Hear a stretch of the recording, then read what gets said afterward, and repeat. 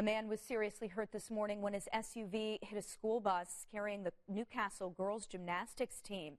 This happened around 9:15 on East State Road 46 in Columbus. The girls on the bus were checked out by medics and are all okay. One of their coaches, though, was treated for some rib pain, and the driver of the SUV had to be cut out of the vehicle.